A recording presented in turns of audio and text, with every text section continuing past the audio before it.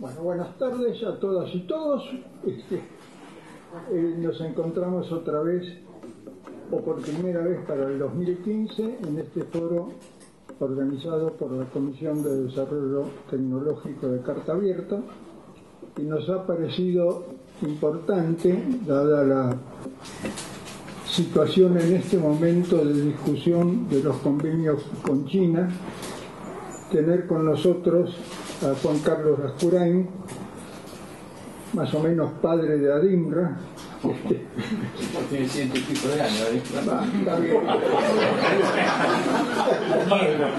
De la Adimra que, ¿eh? la Adimra que conocimos nosotros. Claro.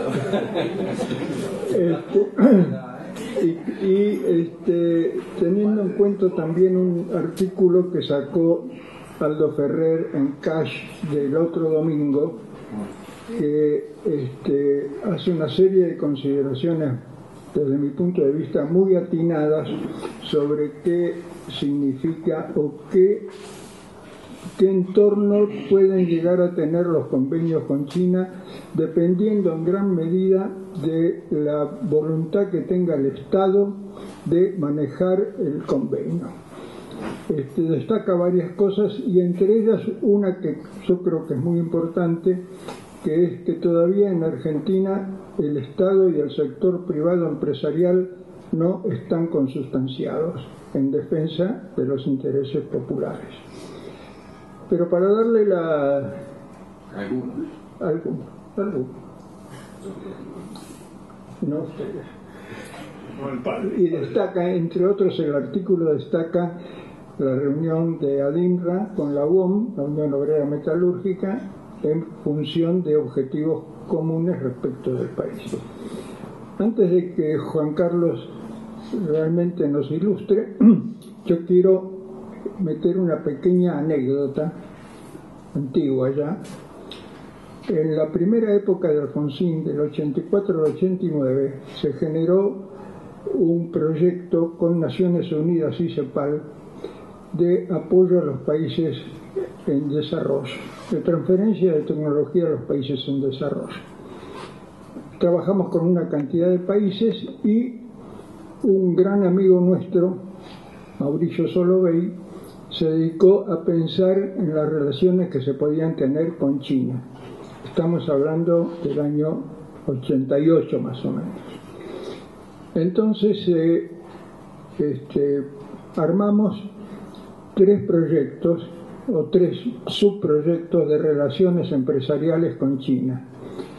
Uno, Uruguay, Argentina, China, otro, Brasil, Argentina, China y un tercero que fue Argentina-China, donde fueron unos cuantos empresarios, fundamentalmente del sector vinculado con alimentación, con agroindustria, curtiembres, con fabricación de pulpa de tomate, los que me acuerdo, con frigoríficos, etc. Si, yo recuerdo, estaba allá, que era China o la China que nos interesaba, que era Pekín y Shanghái, eran mares de bicicletas y además el campo llegaba hasta las orillas de Pekín. Todavía se podían ver eh, arados con bueyes y algunos más mejorando. Pero además se veía que los alemanes y los yanquis iban empezando a hacer cola para tener relaciones con los funcionarios correspondientes del gobierno chino. Este, esta persona que mencioné, Solovey, fue un, hombre con mucha relación, digamos, o con, con, una vieja experiencia de la Segunda Guerra Mundial y este, estableció relaciones muy intensas con lo más importante del comercio, fundamentalmente chino. Este, se termina Alfonsín, viene Caballo, me citan a mí como director del proyecto a ver qué significaba ese proyecto, que había tenido mucho que ver con Nicaragua, con Cuba, con África. Y yo les cuento, ya estaban dispuestos a rajarme, obviamente. Entonces digo, y hemos empezado una relación muy fructífera con China y pensamos extenderlo China no nos interesa. Chau, se acabó, terminó. Terminó todo, eso es hace 25 años. Y las palabras fueron China no nos interesa. Yo, psicológicamente, cualquiera me puede decir, no me acuerdo el nombre del funcionario. Lo he borrado totalmente, pero es un funcionario que todavía creo que está en la actualidad en organismos internacionales. Pero no era él, era Caballo y su gente las que este, lo que querían era no que nosotros vendiéramos, sino que nosotros compráramos. Bueno, este, Juan Carlos, tú sabes. Bueno, buenas tardes también. Eh, nuevamente gracias por, por invitarme.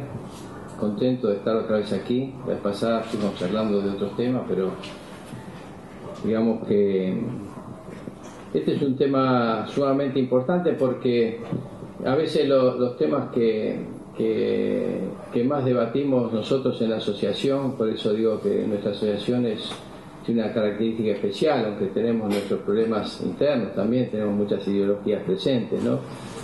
Eh, pero tenemos, tenemos este, muchos trabajos y, siempre tratamos de, coordinar lo que es el, día a día, lo que nos pasa todos los días en la fábrica con, con las cosas que son más estratégicas de largo plazo, ¿no es cierto?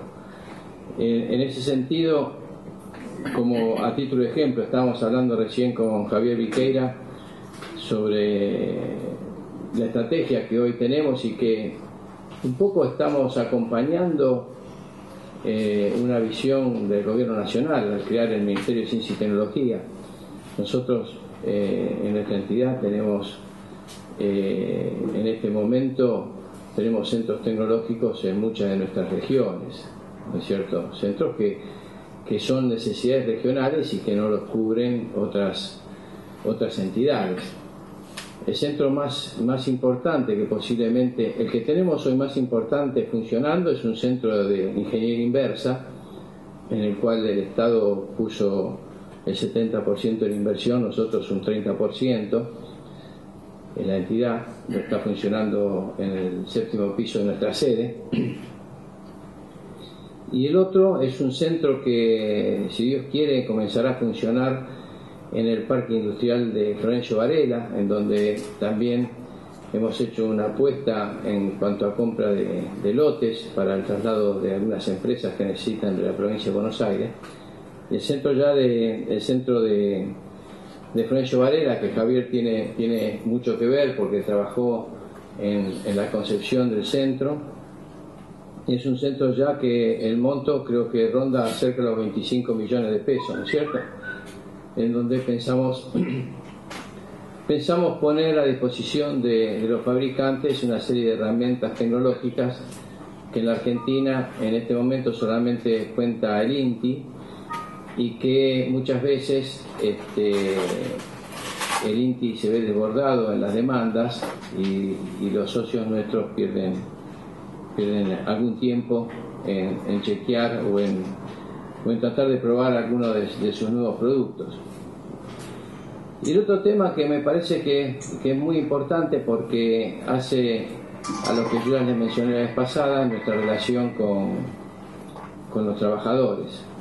Nosotros el año pasado hicimos un esfuerzo muy grande conjuntamente con la UOM y el 13 de noviembre, que es el Día del Pensamiento Nacional, hicimos un acto en Parque Norte en donde decidimos eh, publicar un documento que es este que yo tengo aquí. Seguramente nos quedamos cortos con la cantidad de ejemplares, se llama Encuentro por la Producción y el Trabajo. Y es un documento que lo firma la Confederación de Sindicatos Industriales, está la Asociación Obrera Minera, Asociación Obrera Textil, Asociación de Supervisores de Industria, que es ASIMRA, Asociación de Trabajadores de la Sanidad, Federación Argentina del, Petróleo, Federación de Sindicatos de Trabajadores de Industria Química, Sindicato de Empleados de Industria del Vidrio, Sindicato de Supervisores de la Industria Jabonera, el Sindicato Mecánico, el ESMATA, conocido como ESMATA, el Sindicato de Obreros Curtidores, Federación Obrera de Fibrocemento, Sindicato Obrero de la Industria del Fósforo, Sindicato de la Industria del Vestido, Sindicato de Trabajadores de la Industria de Alimentación, Sindicato Único de Empleados del Tabaco, Unión Cortadores de la Indumentaria, Unión Obreros y Empleados Plásticos, Unión Obrera de la Construcción de la República Argentina, Unión Obrera Metalúrgica de la República Argentina. Y después hay otras más que se agregaron, la Cámara Argentina, bueno, de los Trabajadores, de Leo, bueno, están todos los navales, etcétera, etcétera. Este es un trabajo que nosotros este, lo que pretendemos es decirle a todos los candidatos que hasta ahora ninguno ha hablado de qué piensa hacer con la industria hacia el futuro, después de estos, de estos años, es decirle, mire, nosotros pensamos esto. Y cuando decimos pensamos esto, estamos entendiendo que no vamos a cometer el mismo error que en los 90. en los 90 cometimos el error que estuvimos cada uno por su lugar, ¿no es cierto?, distraídos y tardamos cerca de nueve años en juntarnos y hacer la famosa huelga. Por supuesto que ya veníamos de cerca de veintipico de años de, política neoliberal.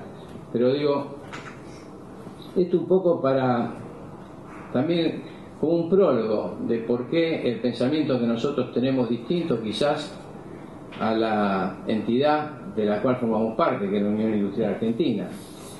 Ustedes saben perfectamente bien que la discusión que se planteó dentro de la Unión Industrial Argentina es una, discusión este, más política, partidaria, que una de visión hacia, hacia el sector industrial, porque digamos el acuerdo con China puede tener eh, sus desventajas, nadie dice que es un acuerdo perfecto, pero también hay una, una decisión que tenemos que tomar los empresarios. Lo que recién vos decías con respecto a, la, a las decisiones del gobierno, yo creo que los gobiernos pueden tomar decisiones, pero me parece que los empresarios también tenemos que tomar decisiones. Lo que pasa es que eh, en las dos categorías de empresarios bien definidas que hay en la Argentina, aquellos que somos formadores de precios y aquellos que no somos formadores de precios, eh, nuestra visión es absolutamente distinta y es lógica que sea, que sea distinta.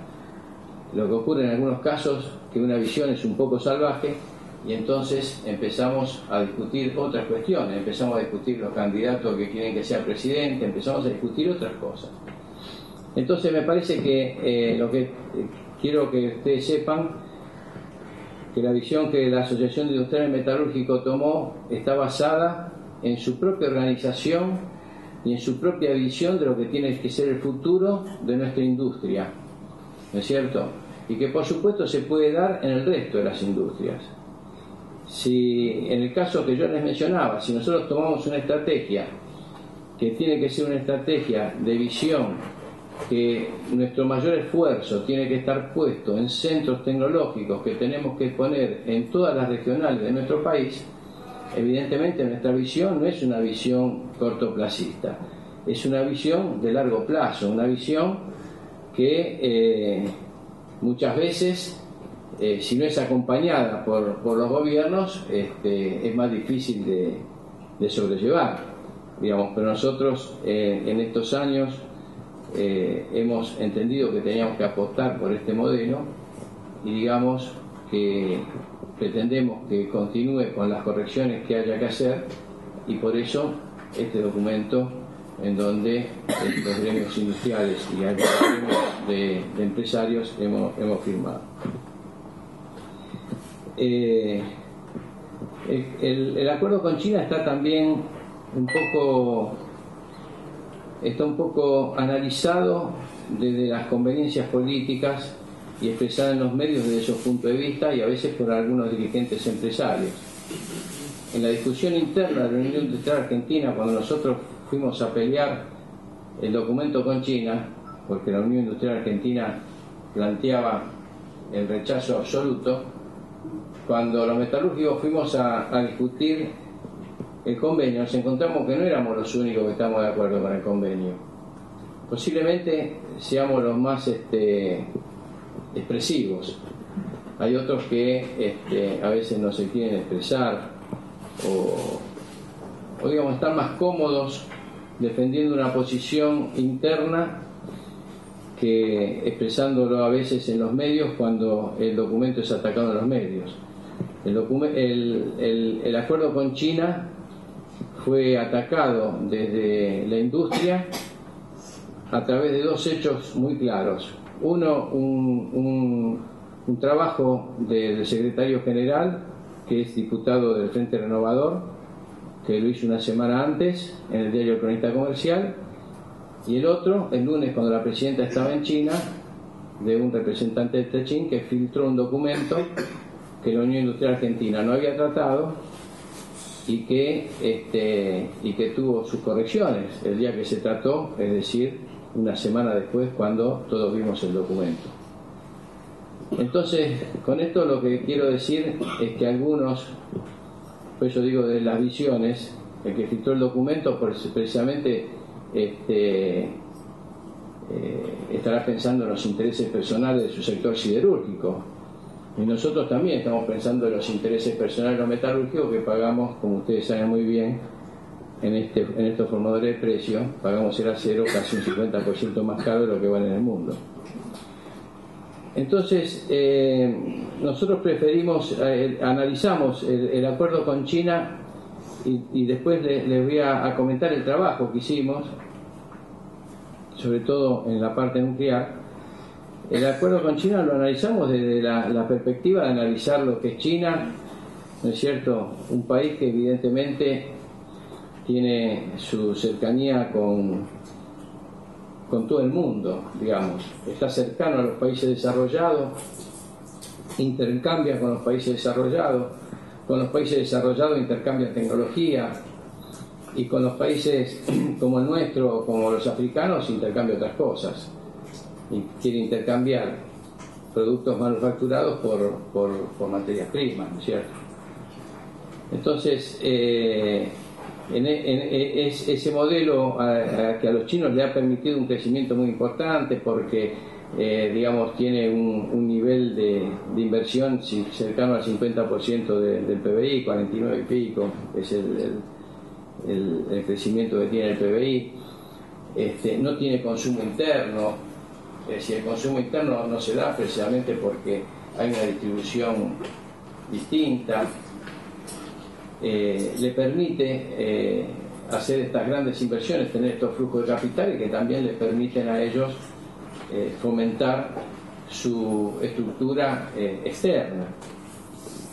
Y, lo que ellos precisamente tratan de, hacer es con, con lo que les sobra, es juntar la decisión del Estado, que incluye a los privados. Vos decías hoy claramente de que la Argentina todavía no pudo, y en este caso se vio claramente, no pudo discutir un acuerdo con China, el Estado junto con los privados. Los chinos, con las economías desarrolladas y con las economías subdesarrolladas, discuten, discute el Estado.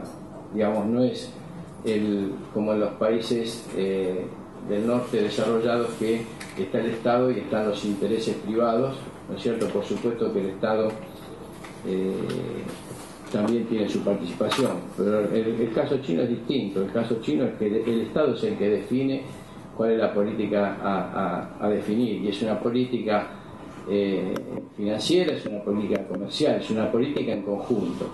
En los otros casos quizás no es una política en conjunto, es una política financiera por un lado y una una política comercial por otro. En el caso de los últimos problemas que tuvo la Argentina con, con, los fondos WITE se vio claramente, ¿no es cierto?, que son dos cosas separadas. Los chinos este, me parece que, lo trabajan de, otra manera. Eh, seguramente eh, en, los trabajos que nosotros disponemos y que en muchos de ellos este, con nosotros trabaja mucho los Ferrer, eh, se ve claramente que los chinos están buscando ir hacia otro, hacia, no hacia otro modelo, sino hacia otro desarrollo, es decir, ya comienzan a tener algunas cuestiones internas en cuanto a la distribución, entonces tienen que empezar a ver de qué manera van a fomentar el consumo. Entonces están pensando, si tuvimos el, el crecimiento, se vio porque tuvimos que eh, tener una inversión del 50% del PBI. Acuérdense que la Argentina estaba más o menos al 22, en las épocas que mejor estaba. Ellos ese 50% lo quieren, lo quieren tomar una parte del consumo interno. Y ese consumo interno va a significar una distribución distinta. Y esa distribución distinta evidentemente va a necesitar de productos. Y entendemos que esos productos van a ser en algunos casos, sobre todo productos manufacturados alimenticios y que a la Argentina le pueden, le pueden venir bien. De hecho, eh, una de las cámaras que estaba de acuerdo con el acuerdo con China es la que nuclea a las entidades alimenticias, ¿no es cierto? Aunque no ha salido a decirlo públicamente.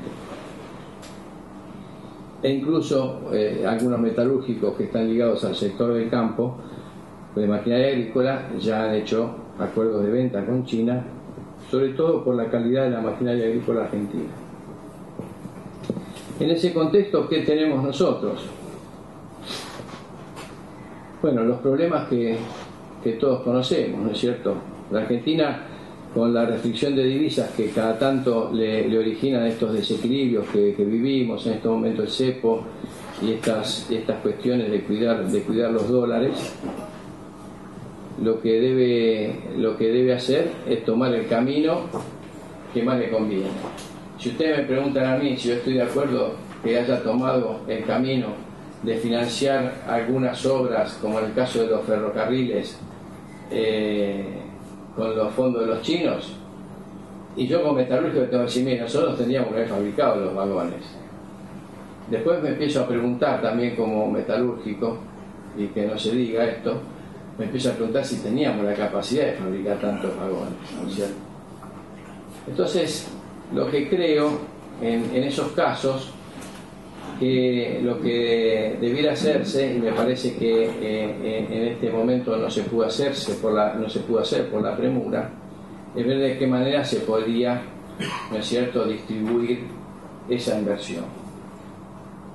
Eh, seguramente que para el caso de lo que van a ser los vagones de carga, la Argentina va a estar presente porque ya, eh, ya está trabajando muy fuertemente fabricaciones militares, ya tiene los planos de lo que van a ser los, vagones de carga, ya se han seleccionado una cantidad de empresas eh, importantes para comenzar a, a, cortar lo que van a ser los vagones de carga y ya Fabricaciones Militares contrató una empresa que va a hacer todo, todo un sistema de montaje como tienen las automotrices. Así que digamos, el, camino es el correcto. Ahora usted me preguntan, ¿te gustó que compraran mis vagones? Y mucho no me gustó, pero también tengo que ser consciente que la industria ferroviaria estaba desmantelada en la Argentina después de tantos años de no haber puesto nada.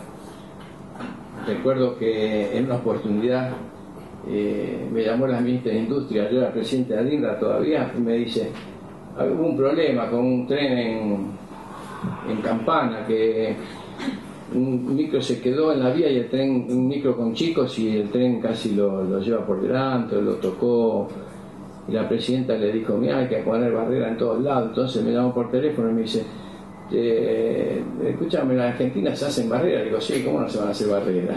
¿No es cierto? No se, hace, no se hacen barreras. la barrera de madera se hace. El resto de lo que es una barrera, ignorante yo, este, no se hace en Argentina. Por supuesto que hoy está un poquito más avanzado y seguramente este, alguien la estará construyendo, pero en ese momento no se hacía porque implica todo el sistema de lo que es el, el, aviso para bajar la barrera. La barrera de madera la hace cualquiera, pero todo el resto es más complejo. Entonces, este es, un, este es un esquema, el esquema de financiar la inversión a partir del crédito de un proveedor a partir de una necesidad.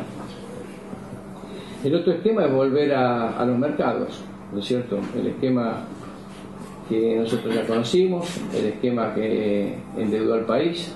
Ese, ese esquema del endeudamiento es posiblemente el que muchos, eh, muchos hoy están planteando. Se, empieza a resultar atractiva la Argentina, que es un país que no está endeudado y que tiene capacidad de pago, ¿no es cierto?